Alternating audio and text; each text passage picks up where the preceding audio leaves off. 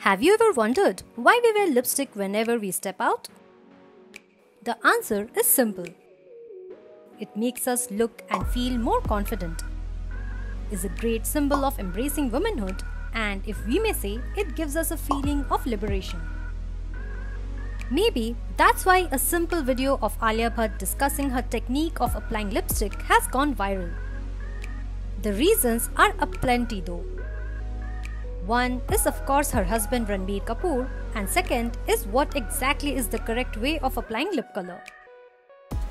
The clip shared by the Instagram page of Vogue India shows Alia applying her Charlotte Tilbury's Pillow Talk lipstick in a rather unique way.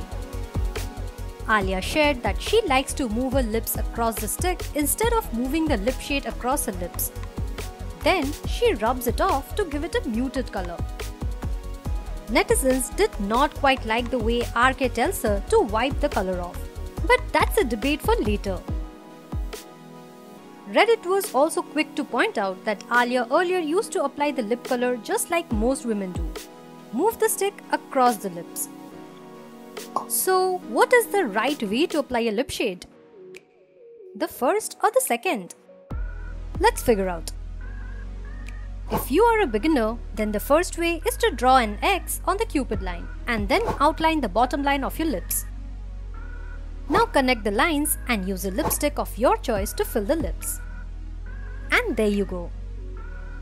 Another way to achieve a smoother finish is to first clean your lips with a wet towel and hydrate them.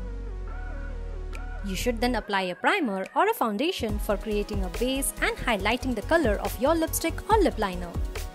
Then line your lips and fill the lips with the same product slowly. The final step is to use your lipstick or lip stain more towards the inside of your lips for a plumpy look. To achieve a more natural look, you can do what Alia did. Wipe it off. The stain may look cool on fair-skinned women. What's your hack to make the lip color stay? Do let us know in the comments and don't forget to subscribe to Showsha for all things color.